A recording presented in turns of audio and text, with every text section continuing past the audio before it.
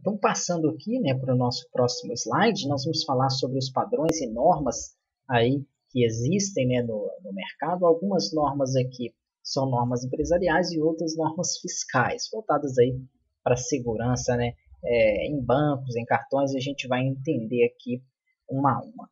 Essas normas elas podem ser compradas aí né, através do site da ABNT. Então, como que funciona uma norma? Vamos supor, vamos começar aqui pela ISO 27001, que uma empresa né, trabalha ali com clientes que é, confiam os seus dados naquela empresa ou confiam capital, alguma coisa ali.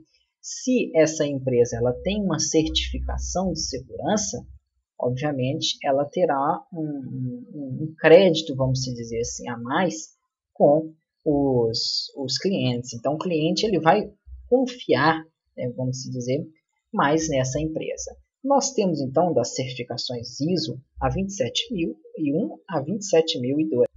A ISO 27001 ela serve aí para regular e definir aspectos necessários para a implementação né, de política de segurança dentro aí de uma infraestrutura, né, de uma empresa, de uma organização.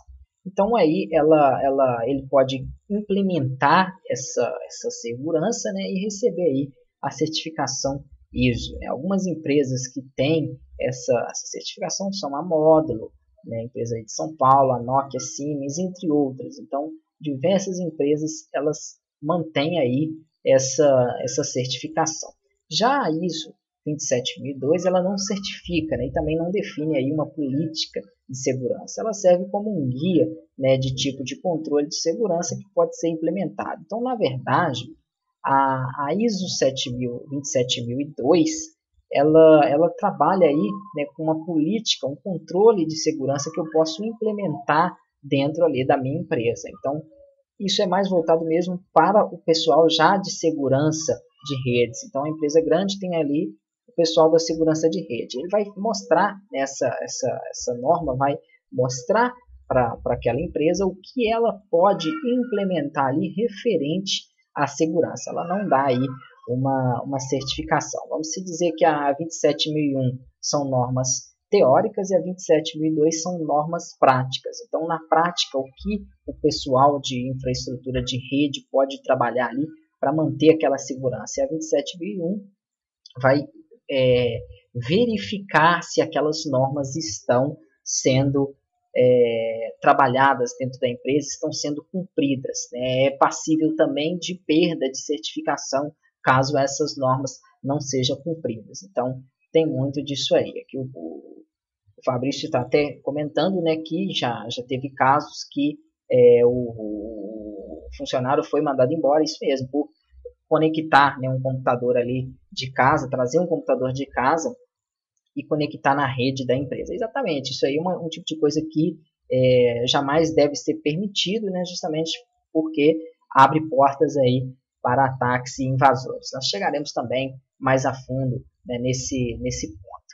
Dando sequência aqui, nós temos outras formas de certificação, por exemplo, Basileia 2, né, é, foi, esse já é certificação fiscal, né, vamos dizer assim, que é que são normas aí fiscais. Então é um acordo que foi é, firmado na Basileia, né, ele, ele substituiu o Basileia 1 e serve aí né, para criar exigências mínimas de seguranças para bancos. Então vamos supor que você tem ali né, o seu, seu crédito no banco, você investiu ali um dinheiro na poupança em um banco e você precisa, obviamente, de uma segurança, porque na verdade o que você tem é simplesmente um número que está acreditado numa conta lá. Então, ah, tenho lá é, 20 mil reais.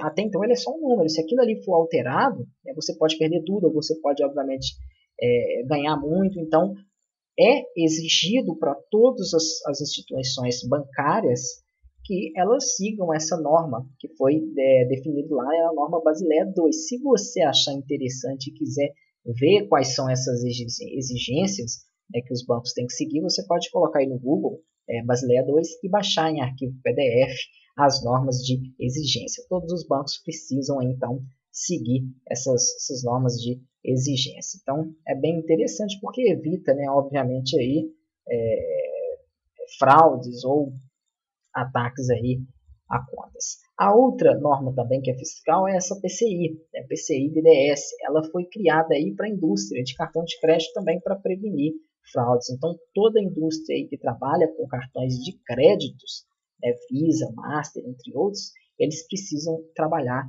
dentro né, das exigências dessa, dessa, dessa norma PCI.